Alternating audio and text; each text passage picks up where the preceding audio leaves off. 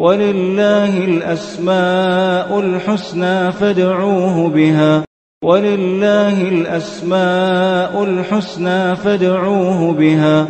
وذروا الذين يلحدون في أسمائه سيجزون ما كانوا يعملون.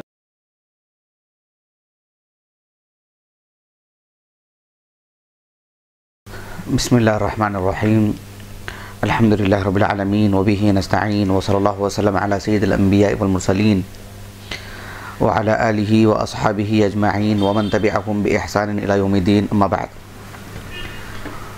اللہ رب العالمین کی توفیق سے انشاءاللہ آج اللہ سبحانہ و تعالیٰ کی صفات علیہ میں سے ایک صفت الصنع وہ ہم پڑھیں گے انشاءاللہ اللہ اللہ سبحانہ و تعالیٰ اس پوری کائنات کا خالق ہے۔ اللہ رب العالمین اس پوری کائنات کا صانع ہے۔ صانع یعنی کائنات کو بنانے والا، کائنات کو خلق کرنے والا۔ صانع کے بنیادی معنی کیا ہیں؟ وہ میں آپ کو بتلاؤں گا انشاءاللہ۔ لیکن ایک بات یہ جانیے گا کہ اللہ سبحانہ و تعالیٰ کی ایک صفت ہے الصنع یا الصانع کہ اللہ تعالیٰ بنانے والا ہے۔ الصنع کہتے ہیں عربی زبان میں کاریگری کو۔ یہ اللہ سبحانہ و تعالیٰ کی صفات میں سے ہے۔ اللہ رب العالمین کے اسماء حسنہ میں سے نہیں ہے۔ یعنی ایسا نہیں ہے کہ الصانع اللہ رب العالمین کے اسماء حسنہ میں سے جیسے الرحمن، الرحیم الوارث، القدوس الملک الجبار، المتکبر، العزیز، الحکیم، ایسے دیگر جو اسماء حسنہ ہیں رب العالمین کے، ان میں سے الصانع، یہ بھی ایک اسم ہے کیا اللہ سبحانہ و تعالیٰ کا، ایسا نہیں ہے۔ اگر آپ کچھ پچھلے دروس جا کر کے سنیں گے تو اس میں ایک مستقل درس تھا اس قاعدے پر کہ اللہ رب العالمین کا جو بھی اسم ہے ہم ہماری اس کلاس میں، ہماری ان دروس میں اسماء حسنہ سے متعلق تفصیلی کام نہیں کر رہے ہیں۔ وہ آگے کریں گے انشاءاللہ۔ کیونکہ کم و بیش پینتیس یا چھتیس کے آس پاس اسماء حسنہ پر ہمارے مکمل دروس ہو چکے ہیں تو میں چاہ رہا تھا کہ صفات پر کچھ کام ہو۔ تو اللہ سبحانہ و تعالیٰ کے جو اسماء حسنہ ہیں، اس اسم سے اللہ کی صفت بھی بنائی جاتی ہے۔ یہ اہل سنہ کا موقف ہے۔ جیسے الرحیم سے الرحمہ۔ القدیر سے القدرہ، القوی سے القوہ، العزیز سے العزہ، بعزتک۔ العزہ صفت ہے رب العالمین کی۔ لیکن اللہ سبحانہ و تعالیٰ کی جو صفت ہے، اس صفت کو رکھ کر کے کیا اللہ کا نام بھی بنائیں گے کیا؟ ایسا نہیں ہے، ایسا نہیں ہوگا۔ جیسے اللہ رب العالمین کی ایک صفت ہے، صفت نزول۔ ینزل ربنا، یہ صحیح بخاری کے الفاظ ہیں۔ اللہ سبحانہ و تعالیٰ ہمارا رب نازل ہوتا ہے رات کے آخری ساعت میں، آخری ساعتوں میں۔ نازل ہوتا ہے۔ اس اعتبار سے یہ جو اللہ کی صفت ہے، کیا نام بھی بنا دیں گے؟ النازل اور یوں عبدیت لگے گی اس پر؟ عبد النازل نہیں۔ عبد المستوی نہیں، ایسا نہیں ہوگا۔ استوا صفات میں سے رب العالمین کی۔ اللہ سبحانہ و تعالیٰ کی صفات میں سے اللہ رب العالمین نے خبر دی اپنے بارے میں کہ وجہ ربک والملک وجہ ربک، یوں عبد الجائی ایسا نہیں ہوگا۔ تو صفت کو رکھ کر کے اللہ رب العالمین کا نام نہیں بنائیں گے۔ اللہ سبحانہ و تعالیٰ کے جو اسماء حسنہ ہیں، ثابت شدہ ہیں، اس سے اللہ کی صفت بھی بیان کی جاتی ہے کہ اللہ تعالیٰ اس سے متصف ہے۔ یعنی جو اللہ رب العالمین کا نام ہے، جیسے مثال کے طور پر ایک آدمی کا ہم نام رکھتے ہیں جمیل، وہ فی نفس ہی خوبصورت ہونا بھی ضروری ہے کیا؟ نہیں ہے۔ ایک آدمی کا ہم نام رکھتے ہیں قدیر، کسی شخص کا نام۔ اپنے آپ میں اس کا قدیر ہونا ضروری ہے کیا؟ اس سے متصف ہونا ضروری ہے وہ؟ صرف نام ہے، اس سے متصف ہونا ضروری نہیں۔ اللہ رب العالمین کا جو نام ہے وہ نام بھی ہے، اس کا اس کا تعارف بھی ہے، اس کا ایک اسم بھی ہے، جو اسم، جو جو اچھا نام ہے اسماء حسنہ میں سے ہے، لیکن اس سے متصف بھی ہے رب العالمین۔ اللہ سبحانہ و تعالیٰ کے جو نام ہیں ان سے اللہ سبحانہ و تعالیٰ متصف بھی ہے۔ وہ صفت بھی رب العالمین میں ہے۔ یہ اللہ نے جتنے نام بیان کیے، وہ سارے نام کے اوصاف سے رب العالمین متصف ہے الگ سے اللہ تعالیٰ نے اپنے بارے میں اور بھی بہت سارے صفات بتلائے ہیں۔ ان صفات کو رکھ کر کے اللہ کا نام یوں بنا دیں گے کیا؟ ایسا نہیں ہے۔ میں سمجھتا ہوں یہ بات بارہ واضح ہو رہی ہے اور جو لوگ سن رہے ہیں پہلی مرتبہ، ان کے لیے تھوڑی سی دقت ہو سکتی ہے، کوئی مشکل کام نہیں ہے۔ یہ ہمارے رب کا تعارف ہے، رب العالمین کا۔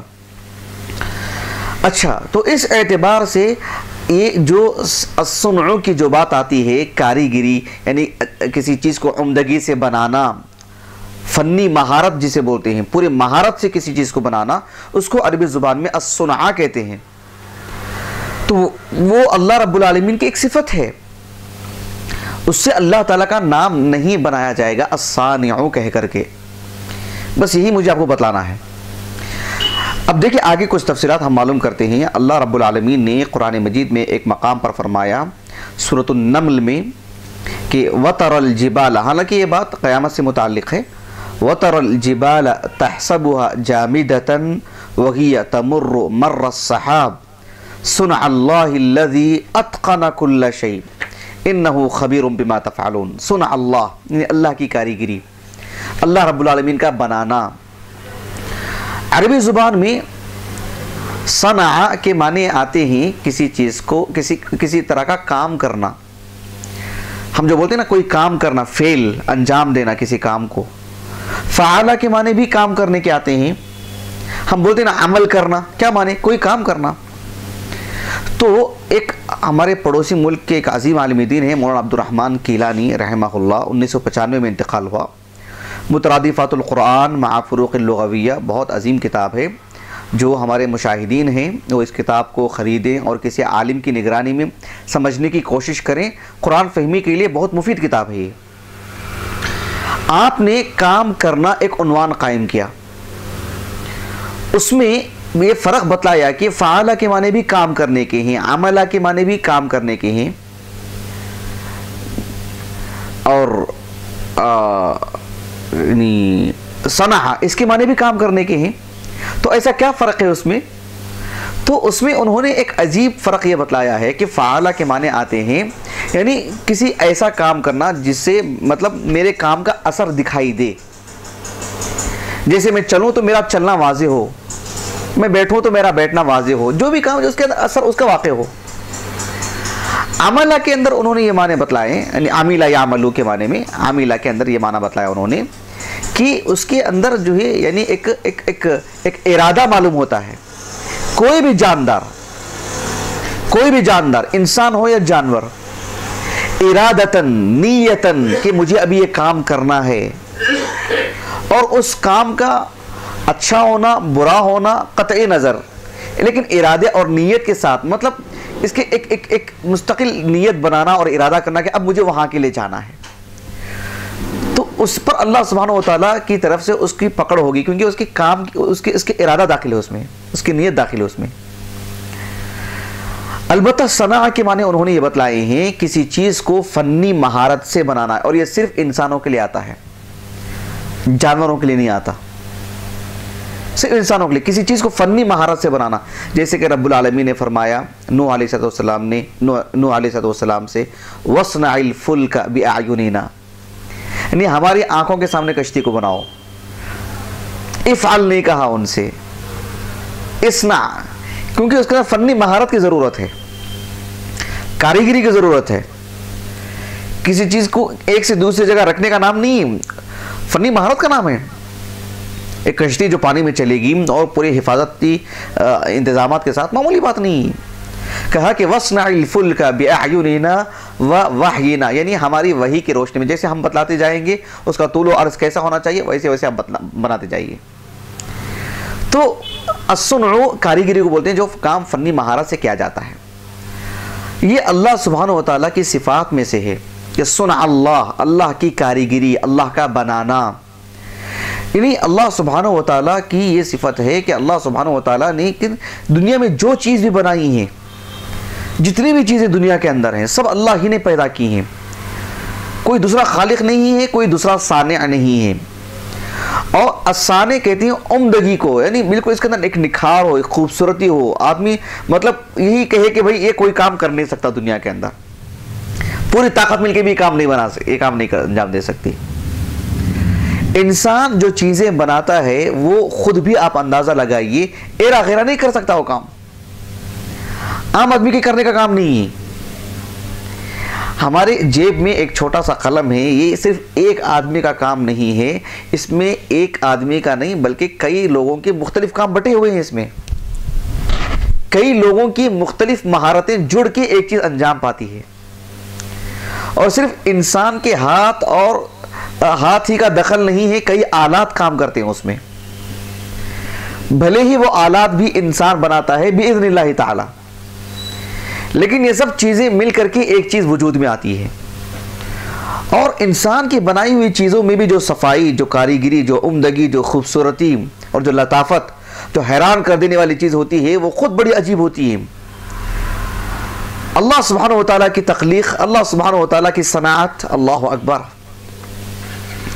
لیکن ایک بات پیش نظر رہے کہ اللہ سبحانہ و تعالیٰ نے جو چیزیں بنائی ہیں، جیسے آسمان، زمین، ہوا، پانی، ساتھ میں انسان جو چیزیں بناتا ہے، وہ چیزیں بھی دراصل اللہ ہی کی تخلیق ہیں۔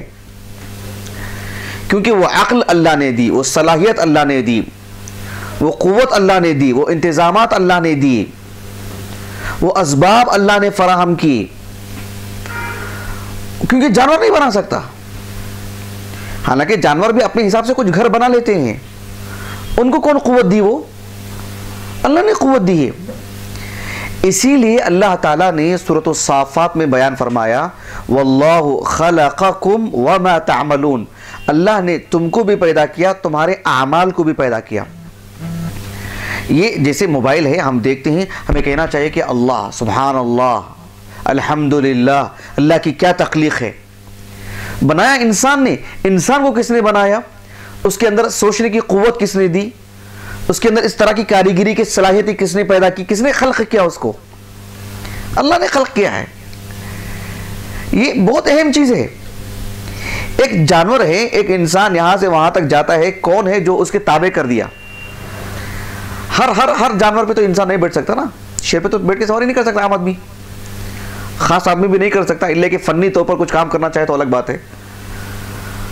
خاص تو عمومی طور پر جو سواریاں ہونی کون تابع کیا اس کے انسان کے؟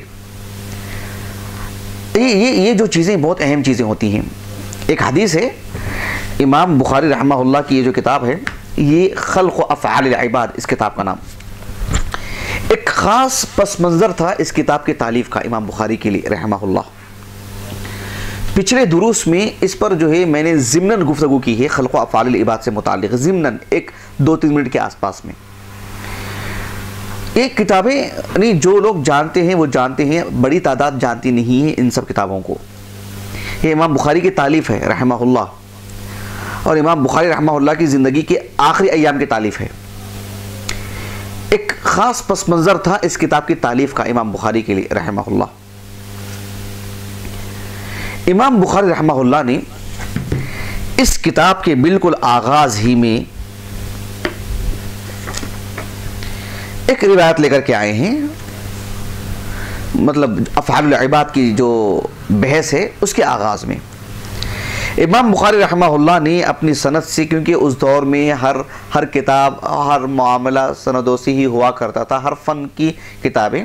تو امام بخاری رحمہ اللہ نے اپنی سند سے ایک روایت لے کر کے آئے ہیں حضیفہ بن الیمان سے رضی اللہ عنہ، بلکہ رضی اللہ عنہما۔ ان کے والد صاحب احد کے میدان میں شہید ہو گئے تھے حضیفہ بن الیمان رضی اللہ عنہما۔ وہ کہتے ہیں کہ اللہ کے رسول صلی اللہ علیہ وسلم نے فرمایا، ان اللہ یصنع کل صانع و صنعتہ کہ اللہ سبحانہ و تعالیٰ نے یصنع کل صانع یعنی ہر صانع کو، مثال کے طور پر اس کو جو بنانا، بنایا ہے نا، اس کو بھی اللہ نے پیدا کیا۔ وہ صنعتہ، اس کے اندر کی جو کاریگری، کی جو قوت صلاحیتیں ہیں، وہ بھی اللہ نے خلق کی، اس کے اندر رکھی اللہ نے۔ اس کو خلق کیا رب العالمین نے۔ صلاحیت انسان کی نظر نہیں آتی جیسے ہوا نظر نہیں آتی ہے۔ انسان کی عقل نظر نہیں آتی ہے۔ تو وہ جو صلاحیت اندر جو سوچتا ہے آدمی کہ ایسی چیز ہونی چاہیے، اس کے ساتھ وہ چیز جڑ کے رہنی چاہیے۔ اور یہ آپ دیکھیں نا یعنی ایک چھوٹی چھوٹی چیزوں کے اندر کتنی چیزیں جڑ جاتی ہیں۔ اللہ اکبر۔ یہ میرے اور آپ کے لیے حیران کرنے والی چیزیں ہیں، لیکن یہ اللہ رب العالمین کی جو اتنی بڑی کائنات ہیں سب سب جیسے آسمان ہے، سورج ہے وغیرہ، ویسے ہی یہ بھی اللہ ہی کی تخلیق ہیں۔ یہ بھی اللہ ہی کی کاریگری ہے کاریگری ہے۔ جو کسی چیز کے نتیجے کا نتیجہ ہے۔ انسان کو اللہ نے پیدا کیا، اس کے اندر اللہ رب عقل عطا کی، سمجھنے کی قوت دی اور اللہ سبحانہ و تعالیٰ نے ایک سے دو تین انسانوں کی قوتوں کو جمع کیا اور اس کے نتیجے میں مختلف چیزوں کو کا وجود وجود ہوا ہے۔ سب خلق رب العالمین نے کیا ہے۔ یہ جو حدیث مبارکہ ہے، اللہ کے رسول نے کہا صلی اللہ علیہ وسلم، ان اللہ ان اللہ یصنع کل صانع و صنعتہ. یہ بہت اہم حدیث ہے۔ بہت اہم حدیث ہے۔ یہ حدیث صحیح ہے، شیخ محمد ناصر الدین البانی رحمہ اللہ نے صحیح کہا ہے۔ دیکھیں کسی کو دھوکہ نہیں ہونا چاہیے کہ امام بخاری رحمہ اللہ نے اس کو اپنی خلق و افعال بعد میں لائے اور شیخ البانی نے صحیح کہا۔ صرف صحیح بخاری اور صحیح مسلم کی احادیث ہیں جن پر امت مسلمہ کا اتفاق ہے، علماء کا، کہ وہ احادیث صحت پر مبنی ہیں جس پہ کلام کی ضرورت نہیں ہے۔ امام بخاری رحمہ اللہ کی دیگر جو کتابیں ہیں، جیسے خلق و افعال العباد ہے جزفی رفع الیدین ہے، الادب المفرد ہے، وغیرہ وغیرہ، اس میں امام بخاری رحمہ اللہ نے صحیح بخاری جیسا اہتمام کیا ہے کیا؟ خود امام بخاری نے ایسا اہتمام نہیں کیا اس جو ان کتابوں میں کی، جو اس کتاب میں کیا امام بخاری نے، رحمہ اللہ۔ انہوں امت مسلمہ میں آپ کی دیگر کتابیں الادب المفرد بھی اسی اسی درجے کے حامل ہوتی۔ بات ایسی نہیں ہے۔ تو بہرحال یہ حدیث یہ جو لفظ ہے، یہ جو صفت ہے، اللہ سبحانہ و تعالیٰ کے لیے ثابت ہے، قرآن میں بھی، حدیث میں بھی۔ امام ایک عظیم عالم دین ہے یعنی انہیں قوام السنہ کہا جاتا ہے۔ کیا کہا جاتا ہے؟ آپ میں سے کوئی بول سکتے ہیں؟ کیونکہ اس سے پہلے میں کافی مرتبہ ان کا نام آ چکا ہے۔ کوئی ان سے متعلق بتلا سکتے ہیں؟ کیا نام تھا ان کا؟ اسماعیل نام تھا ان کا۔ اسماعیل ابن محمد ابن الفضل ابو القاسم کنیت تھی ان کی، پانچ سو پینتیس ہجری سن وفات ہے ان کا، اور جو ہے ابن عساکر جیسے عظیم عالم دین کے استاذ ہیں آپ، رحمہم اللہ اجمعین۔ ان کی کتاب ہے جو الحجہ فی بیان المحجہ، یہ بہرحال میں یعنی کافی عرصے سے دو تین سال سے بس اس کے، اس کتاب کا نام پڑھتے آ رہا ہوں، اس کتاب کے حوالے سے دیگر کتابوں میں پڑھ رہا ہوں، اس کتاب کو کبھی میں دیکھا نہیں۔ اس کتاب کو کبھی میں نے ہاتھ میں نہیں لیا ہے۔ اللہ تعالیٰ سے دعا ہے کہ اللہ تعالیٰ یہ کتاب جو ہے ہمیں فراہم کرے اور بآسانی اللہ تعالیٰ ہم تک اس کتاب کو پہنچائے۔ تو اب تک اس کتاب کو دیکھنے کا موقع نہیں ملا ہے۔ کسی کتاب کے حوالے سے ہی اس کی اس کی باتیں ہم کو پڑھنے کو مل رہی ہیں۔ اللہ، امام قوام السن الزبہانی رحمہ اللہ یہ کہتے ہیں کہ السنعو کے معنی آتے ہیں الاختراع و ترکیب۔ یعنی کسی چیز کو وجود میں لانا مطلب انوکھی چیز کو۔ اور بالکل مرکب، اچھے انداز میں، ترتیب کے ساتھ، اچھی بناوٹ، عمدگی کے ساتھ۔ اختراع، ہم بولتے ہیں نا، اختراعی سوچ۔ لوگوں کے اندر ہوتی ہے نئی نئی چیزیں لانا، انوکھی چیزیں لانا۔ ہر باپ کے اندر، ہر میدان کے اندر لوگوں میں ایسی کوئی چیزیں ہوتی ہیں۔ اسی اسی میدان کے، اسی فن کے دسیوں لوگ ہوتے ہیں، لیکن سب سے ہٹ کے وہ چیز انجام دیتے ہیں۔ ہر فن کے اندر ایسے لوگ ہوتے ہیں۔ اس کو بولتے ہیں اختراعی عمل، اختراعی سوچ۔ تو السنعو کے معنی ہی یہی آتے ہیں کہ الاختراع و ترکیب۔ یعنی بالکل عمدہ چیز، انوکھی چیز۔ آدمی اب تک اتنی چیزیں آئی ہیں، اللہ تعالیٰ کے ہر تخلیق السنعو ہے۔ عجیب کاریگری ہے، عمدہ کاریگری ہے۔ حشرات الارض کو لے لیجیے چھوٹے موٹے کیڑوں کو۔ اس میں اس میں اس میں ہم بولیں گے تو مبالغہ نہیں ہوگا کہ سینکڑوں سینکڑوں سینکڑوں قسم کے ہیں۔ مچھر اس کی قسم لے لے سینکڑوں قسم کے ہیں۔ کھانے پینے کے اشیاء کو لے لیے چاول کو، اس میں کتنے قسم کے ہیں؟ اللہ اکبر۔ آپ دالوں کو لے لیجیے، اس میں مختلف قسم کے ہیں۔ آپ دیکھیے، یہ جو چیزیں ہیں، انسان کے چہروں کو دیکھ لیجیے، انسان کے ہاتھ پیر کو دیکھ لیجیے۔ یعنی ایک انسان ہونے کے اعتبار سے بحیثیت انسان۔ ان میں اتنی اتنی بڑی تعداد میں انسان ہیں، لیکن ایک دوسرے کا چہرہ اللہ نے الگ الگ بنایا ہے۔ اللہ اکبر۔ ایسے کتنے لوگ انتقال کر چکے ہیں، اور جو ہے، ایسا تو نہیں ہے کہ جو ہے، وہی چہرے دوبارہ آ رہے۔ اللہ سبحانہ وتعالی نے کتنے چہروں کو پیدا کیا؟ سبحان اللہ کیونکہ ایسا ہم نہیں کہہ سکتے کہ کل کے چہرے، کل کے جو چہرے تھے دو ہزار سال پہلے، وہی چہرے آج ہیں۔ کیونکہ کل حشر کے میدان میں تو سب کو کھڑے ہونے ہیں۔ سب کے چہرے الگ ہوں گے۔ سب کا حال چل الگ ہوگا۔ سب کی اپنی اپنی ایک شخصیت ہوگی۔ سب کی اپنی اپنی اصلیت ہوگی۔ جس کو اللہ نے اس چہرے میں پیدا کیا۔ تبھی تو پہچان پائیں گے۔ ورنہ ایک چہرے کے ہزار ہزار لوگ ہوں گے۔ کیسے فرق کریں گے؟ اللہ سبحانہ و تعالیٰ نے اتنے چہروں کو پیدا کیا۔ سبحان اللہ۔ رنگت الگ الگ، آنکھیں الگ الگ، حتیٰ کہ جو ہے یہ بنان الگ الگ، اللہ اکبر، سبحان اللہ العظیم۔ تو یہ سن اللہ اللہ کی کاریگری۔ یہ انسان کیسے انجام دے سکتا ہے؟ انسان کے سر کے بال الگ الگ، اللہ اکبر۔ انبیاء کے جو تعارف ہمیں ملتے ہیں احادث کی روشنی میں، اس میں ان کے بال بھی الگ الگ ہیں، اس کا بھی ہمیں تعارف ملتا ہے۔ انسان کے دانتوں کو دیکھ لیجیے، کتنا فرق ہے، اللہ اکبر۔ اللہ سبحانہ و تعالیٰ نے اس قدر مطلب پیدا کیا ہے الگ الگ انداز میں۔ آواز دیکھ لیجیے، آپ آواز سے فرق کر لیتے ہیں، نابینا لوگ آواز سے فرق کر لیتے ہیں۔ یہ فلاں آدمی ہے، فلاں آدمی ہے، فلاں آدمی ہے۔ اللہ سبحانہ و تعالیٰ نے اس قدر فرق رکھا ہے۔ یہ ہم انسانوں کی بات کرتے ہیں۔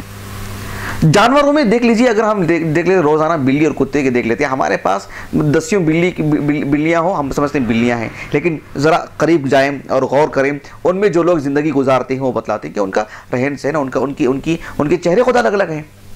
آپ ایک بلی کو دوسری بلی کے صرف رنگ سے نہیں، ان کے چہرے سے بھی فرق کر سکتے ہیں۔ ایک کتے کو دوسرے کتے سے صرف رنگ سے نہیں، اس کے چہرے سے بھی فرق کر سکتے ہیں۔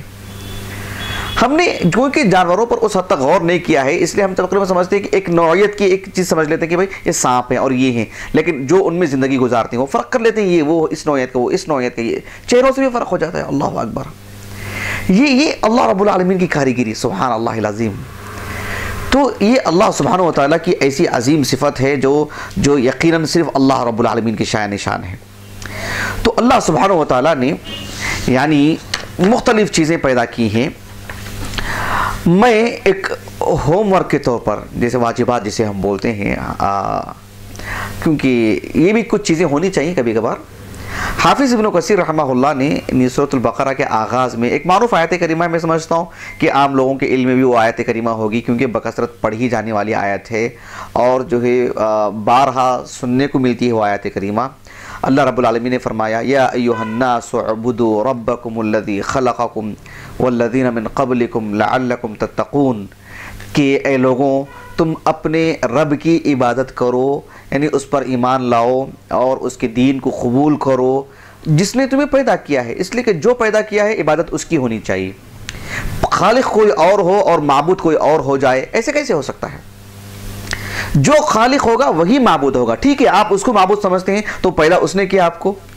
نہیں کیا۔ یہ تو ابتر، بدترین چیز ہے کہ آپ اپنے ہاتھوں سے اس کو اور اس کو کریں اور کہ یہ میرا معبود ہے، اللہ اکبر۔ آپ کتنے ستھیت میں آ گئے، کتنے گرا دیا آپ نے اپنے آپ کو۔ جس نے آپ کو خلق کیا، آپ اس کے سامنے سجدے میں پڑی۔ یہ تو، یہ اچھی چیز ہے یہ۔ یہی مطلوب ہے، یہی ہونا چاہیے، واجب ہے، یہ حق ہے۔ نہ ہونے کی صورت میں ہمیشہ کے لیے جہنم ہے۔ تو اللہ سبحانہ و تعالیٰ نے ہم کو پیدا کیا، تبھی تو ہم کو عبادت کا مطالبہ کیا۔ بات جشتی ہے۔ بات عقل کے موافق ہے۔ اب اس آیت کریمہ کی تفسیر میں حافظ ابن کثیر رحمہ اللہ آٹھویں صدی ہجری کے اواخر میں آپ کا انتقال ہوا، سات سو چوہتر ہجری کو۔ ہماری چودہ سو سال کی تاریخ میں جن علماء نے یعنی بہت بڑی مقدار میں دین کا کام کیا بِإِذْنِ اللہ تعالی، اللہ نے انہی دین کی خدمت کے لیے چنا اور زندگی اسی میں لگائے وہ، ان میں نمایاں اور مقبول ترین نام مستند ترین نام حافظ ابن کثیر رحمہ اللہ۔ حافظ ابن کثیر رحمہ اللہ نے اس آیت کریمہ کی تفسیر میں جو باتیں آپ نے لکھی ہیں، اللہ اکبر، سبحان اللہ۔ تو جو لوگ میرے سامنے بیٹھے ہیں جو لوگ سن رہے ہیں جب جب انہیں موقع ملے گا جب بھی سنیں گے وہ اس آیت کریمہ کی تفسیر میں ضرور جا کے پڑھیں۔ غالباً آیت نمبر اکیس ہے۔ غالباً اکیس ہے؟ جی۔ غالباً جی اکیس ہے آیت نمبر۔ اس آیت کریمہ کی تفسیر میں آپ جا کر کے پڑھ کے دیکھیں۔ حافظ ابن کثیر رحمہ اللہ نے یعنی کس حد تک یعنی امام مالک رحمہ اللہ نے کہا کہ ایک مخصوص قسم کا پتہ ہے۔ کہا کہ وہ پتہ مختلف مطلب جانور مختلف حشرات مختلف کیڑے مکوڑے سب کھاتے ہیں، لیکن وہ الگ الگ چیزیں پیدا کرتی ہیں۔ شہد کی مکھی کھاتی ہے، اسے شہد بناتی ہے۔ اللہ اکبر۔ وہی پتہ کھا کر کے۔ وہی پتہ خصوصی طور پر ہرن جو ہے، جو ہرنی جو ہوتی ہے وہ کھاتی ہے اور اسی جو مشک پیدا ہوتا ہے۔ وہی پتہ خصوصی طور پر ریشم کا کیڑا کھاتا ہے اور اس کے ساتھ ریشم بن جاتا ہے۔ اللہ سبحانہ و تعالیٰ نے اسے ایک چیز کے ذریعے سے کتنی چیزیں خلق فرما رہا ہے۔ اللہ اکبر۔ اور وہ اور وہ دنیا کی زینت کی چیزیں بن جا رہی ہیں۔ اعلیٰ ترین چیزیں عام عام لوگوں کے لیے اعلیٰ درجے کے لوگوں کی اعلیٰ درجے کی چیزیں بن جا رہی ہیں وہ۔ اللہ اکبر، سبحان اللہ۔ آپ سمندر کی مچھلیوں کو دیکھ لیجیے، آج کل تو اتنا آسان ہو گیا ہے، اتنا آسان ہو گیا ہے۔ اللہ تعالیٰ کی کاریگری، اللہ تعالیٰ ہمارے قریب اتنی اتنی مقدار میں لے کر آ رہا ہے کہ سمندر کی تہے میں جا کر کے لوگ اس کی تصویر کشی کر رہے ہیں، اس کا ویڈیو بنا رہے ہیں، کچھ ایسے آلات اندر رکھ رہے ہیں جس سے پل پل کی خبریں سمندر کے اندر کی مل رہی ہیں۔ یعنی اور آج کل تو ایسے ویڈیوز ہمیں مل رہی ہیں کہ آسمان تک جانے کے راستے۔ ہاں یہ اور بات ہے کہ آسمان تک کوئی جا نہیں سکتا ہے۔ لیکن بس ایک تمثیل ہوگی شاید ممکن ہو کہ جو ہے دنیا کتنی چھوٹی ہے، دنیا کہاں ہے، اس کے اوپر کیا کیا چیزیں، سب کچھ۔ یہ صرف ایک ایک شوق نہیں ہونا چاہیے واقعہ سوچنا چاہیے۔ اللہ تعالیٰ، سنا اللہ۔ سنا اللہ۔ اللہ کی کاریگری اللہ نے خلق کیا ہے۔ ہم کسی چیز کو دیکھتے ہیں تو فوری طور پر اس کے سانے کی طرف ہم جہاں تعریف کرتے ہیں کہ بہت اچھی چیز ہے۔ ایسے ایسے ہمارے سامنے کیمرہ رکھا ہوا ہے۔ کتنے کتنے لوگوں کے ہاتھ ہوں گے اس میں؟ کتنی مطلب ایک جگہ بنتا ہے اس کی ایک چیز دوسری جگہ بنتی ہے، اس کی دوسری چیز تیسری جگہ بنتی ہے، اس کی تیسری چیز، چوتھی جگہ بنتی ہے، اس کی تیسری چیز، چوتھی چیز۔ سب کچھ ہونے کے بعد ہونے کے بعد بھی وہ چیز سامنے آتی ہے۔ سب کچھ صلاحیتیں بانٹ کے دی ہیں رب العالمین نے۔ سب کو الگ الگ ہنر دیے ہیں۔ ہنر کو الگ سے خلق کیا ہے رب العالمین نے؟ سنا اللہ۔ اور کتنی صفائی دیکھ رہے ہیں آپ۔ یہ دراصل حقیقت میں کیا ہے؟ اللہ ہی کی کی سنات ہے یہ۔ اللہ ہی نے دی ان کے اندر وہ۔ اتنا صاف ستھرا کام کرنے کی قوت اللہ ہی نے دی ان کو۔ اللہ ہی نے وسائل دیے ان کو۔ اللہ ہی نے اسباب دیا اسباب بھی خلق کیا رب العالمین نے۔ سبحان اللہ۔ تو یہ جو ہے یعنی جانور بھی بہت سارے کام کاج اپنے کر لیتے ہیں، اپنے بنا لیتے ہیں۔ یہ رب العالمین نے خلق کیا ان کے تعلق سے۔ مختلف پرندوں کی تصویریں آتی ہیں۔ آپ دیکھیے اس کی اس کی تصویر کشی کرنے والے جو لوگ اس کی فوٹو بنانے والے، اس میں رنگ بھرنے والے بنا کر کے بھی وہ صفائی نہیں لاتے جو رب العالمین نے خلق کیا ہے، سبحان اللہ۔ یہ ایسے ایسے کروڑوں کروڑوں کروڑوں تعجب ہوتا ہے۔ یہ اس پھر یہی ہے ذات جس کے سامنے سجدہ کیا جائے، جس کی ہر بات کو مانا جائے۔ ہمارے جسم کے اندر اتنے سارے عناصر ہیں، ایک جز بھی خراب ہو جائے، انسان کی انسان کا جینا مشکل ہو جاتا ہے۔ لاکھوں روپے کا خرچ آ جاتا ہے۔ ذرا سی کمی بیشی کے ساتھ۔ اللہ سبحانہ و تعالیٰ کی کاریگری اتنی عمدہ ہے کہ انسان کچھ اپنے ذاتی چیزوں کے لیے اس کے اندر خرابی کر لیتا ہے، کروڑوں روپے دے کر کے بھی اصل پہ نہیں لا سکتا ہے۔ اللہ اکبر۔ انسان اتنی عمدگی کے ساتھ چل پھر پاتا ہے کہ ذرا سی تکلیف کے ساتھ ہمیشہ بیٹ کا ہو جاتا ہے، وہ کروڑوں روپے دے کر کے بھی وہ چلن، وہ چلنے کی وہ قوت نہیں لا پاتا ہے۔ اللہ اکبر۔ دیکھنے کی جو قوت ہے وہ نہیں لا سکتا ہے۔ تو یہ یہ جو چیزیں ہیں یعنی اللہ رب العالمین نے اس قدر نظام، اس قدر لطافت کے ساتھ رکھی ہیں، یہ یہ حق ہے کہ صرف اللہ ہی کے سامنے سجدہ کیا جائے۔ صرف اللہ کے دین کو مانا جائے۔ صرف اللہ کی عبادت کی جائے۔ میں یہ بات کیوں بول رہا ہوں آپ کو میں؟ خصوصیت کے ساتھ کہ اللہ تعالیٰ کی کاریگری کی، پر گفتگو کرنے والوں کی تعداد میں غیر مسلمین بھی ہیں آج۔ پہلے بھی تھے، آج بھی ہیں۔ لیکن ان کی گفتگو کا محور کیا ہوتا ہے؟ یعنی کیا کاریگری ہے؟ کیا قدرت ہے؟ کیا نظارہ ہے؟ کتنی اچھی سین ہے۔ پہاڑوں کی فوٹو فوٹو لی جاتی ہے۔ سمندروں کی فوٹو لی جاتی ہے۔ اور جانوروں کی فوٹو لی جاتی ہے۔ بہت سارے غیر مسلمین بھی ایک قدرت کا تعارف کرواتے ہیں کہ کیا عجیب قدرت ہے یہ۔ کیا عجیب کاریگری ہے۔ لیکن اس کے نتیجے میں اللہ کے سامنے سجدے میں پڑ جانا، اللہ کے دین کو قبول کرنا، اللہ کے پسندیدہ دین کو اپنی زندگی میں نافذ کرنا، وہ نتیجہ ہے اصل میں۔ وہ نہیں ہے تو محض یہ تعریف کل قیامت کے دن ان کے لیے حجت بن جائے گی۔ ان کے لیے وبال بن جائے گی کہ اللہ تعالیٰ کی کاریگری کو دیکھنے کے باوجود بھی انہوں نے اللہ پر ایمان نہیں لائے۔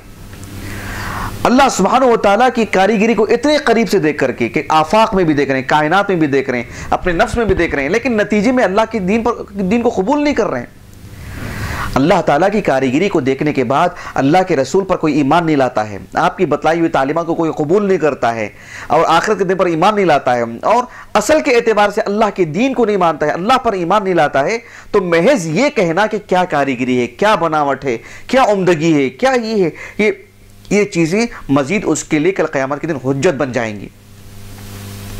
اس کے خلاف دلیل بن جائیں گی وہ۔ گویا کہ تم نے اپنی آنکھوں کا صحیح استعمال کیا۔ کانوں کا صحیح استعمال کیا۔ آپ کو جو ذوق عطا کیا تھا، آپ نے صحیح استعمال کیا، لیکن نتیجے کے طور پر آپ صحیح درست نہیں ہو سکے۔ اللہ پر ایمان نہیں لا سکے۔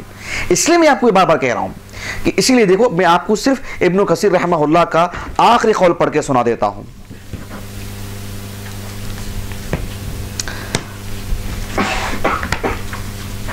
حافظ ابن کثیر رحمہ اللہ نے بہت مفصل لکھا ہے، آپ ضرور پڑھیے گا۔ حافظ ابن کثیر رحمہ اللہ نے یعنی ساری چیزیں بتلانے کے بعد اللہ رب العالمین کی جو قدرت کی جو مختلف جو یہ ہیں کہ کاریگری کے انداز جو ہیں، مختلف یعنی تقریباً یہ ایک ایک یعنی اس اس طرز کی کتاب بتا رہا ہوں، جس میں فونٹ دیکھیں آپ کتنا چھوٹا ہے اس کا۔ اگر آپ جائیں گے شاید عربی زبان میں بارہ فونٹ رہے گا اس کا۔ جو جو ٹریڈیشنل جو ہوتا ہے، غالباً شاید میرے انداز سے بارہ ہوگا۔ آپ اس کو دیکھ سکتے ہیں۔ میں اس لیے بتانا چاہ رہا ہوں، کوئی دوسرا انداز نہیں بتانے کا۔ ابن کثیر کے اگر تفصیل کیسے اٹھائیں گے آپ؟ کوئی دوسری کتاب ہو سکتا دوسرا نسخہ ہو سکتا ہے، اس میں آپ کو سولہ والا فونٹ ملے، اٹھارہ والا ملے آپ کو، ایسا بھی ہو سکتا ہے۔ اردو میں ترجمہ کسی نے جا کے دیکھے ہوں گے تو سولہ جو ہے عمومی طور پر نستعلیق کا ہوتا ہے، وہ بھی کافی بڑا ہوتا ہے۔ میں اس کا، اس کی، اس کا فونٹ اس لیے بتلا رہا ہوں کہ کتنا چھوٹا ہے دیکھیں بارہ فونٹ ہے اس کا۔ تو اس میں آپ نے کم و بیش دو صفحے لکھے ہیں۔ اتنا پھیلا کے لکھا ہے آپ نے۔ کہنا کیا چاہتا ہوں میں؟ اللہ سبحانہ و تعالیٰ کی صنعت کاریگری کو اتنا مفصل لکھنے کے بعد ابن کثیر رحمہ اللہ کے جذبات دیکھیں ابن کثیر رحمہ اللہ کہتے ہیں کہ ساری چیزیں بتلاتے ہیں کہ اللہ رب العالمین کا وجود ہے، اس کی قدرت، اس کی عظیم قدرت، اس کی حکمتیں، اس کی رحمت، سب کچھ ہیں۔ تو پھر سن لو کہ میرے لیے اس کے علاوہ کوئی اور رب نہیں ہے۔ اللہ اکبر۔ نتیجے میں لکھ رہے ابن کثیر رحمہ اللہ۔ میں نے اللہ کا جو اتنا تعارف کروایا ہے کہ اس کی کاریگری کو اتنے ناہیوں سے آپ نے بتایا کہ میں نہیں بتلا سکتا۔ آدھا گھنٹہ لگے گا مجھے سمجھانے کے لیے، ایک گھنٹہ بھی ہو سکتا مجھے سمجھانے کے لیے۔ میرا جو اپنا انداز ہے۔ ایک گھنٹہ بھی لگ سکتا ہے۔ اس لیے میں کہہ رہا ہوں کہ ایک واجبات کے طور پر ہوم ورک کے طور پر دے رہا ہوں کہ آپ ضرور پڑھیے گا۔ آپ انگریزی میں پڑھنا چاہتے ہیں، انگریزی میں پڑھیے، عربی زبان میں پڑھنا چاہتے ہیں، اردو زبان پڑھنا چاہتے ہیں، کسی عالم کی نگرانی میں پڑھنا چاہتے ہیں، مفصل انداز میں وہ بھی پڑھ لیجیے آپ۔ آخری میں ابن کثیر رحمہ اللہ نے لکھا کہ اللہ رب العالمین کے بارے میں جو اتنی باتیں میں نے لکھی کہا کہ لا الہ غیرہ، ولا رب سوا اس کے علاوہ کوئی نہ کوئی رب ہے، نہ کوئی الہ، نہ کوئی معبود ہے۔ علیہ توکل تو میں صرف اسی پہ بھروسہ کرتا ہوں۔ وَإِلَيْهِ أُنِيب اسی وجہ سے میں صرف اللہ کی طرف لوٹتا ہوں میں۔ والآیات فی القرآن الدالہ علی هذا المقام کثیرہ جدہ۔ اس, اس موضوع سے متعلق آیتیں تو بہت ہیں۔ کہا کہ میں نے اتنا جو اللہ کا تعارف کیا ہے یہ بتلانے کے لیے کہ میرے لیے اللہ کے علاوہ کوئی دوسرا رب نہیں ہے۔ میرے لیے اللہ کے علاوہ کوئی دوسرا معبود نہیں ہے جس کے میں دین کو قبول کروں۔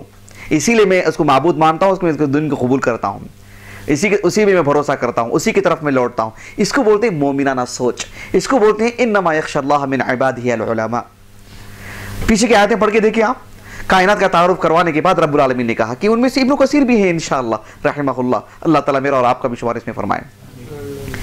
یہ نتیجہ ہے جب ہم کہتے ہیں کہ اللہ سبحانہ وتعالی ہمارا خالق ہے اور وہ اس کی کاریگری۔ اچھا تو یہ ایک چیز ہے کہ اللہ رب العالمین کی جو السنع ہے یا السانع ہے، اللہ کی صفت ہے، اللہ کا اسم نہیں ہے، کہیں جلد بازی میں ممکن ہے کوئی مسلمان ہمارا بھائی جو ہے اچھا نام سمجھ کر کے عبد نام رکھ دے، نہیں، ایسے ایسا مت کیجیے، اس لیے کہ یہ سب توقیفی توقیفی ہیں، توقیفی امور ہیں۔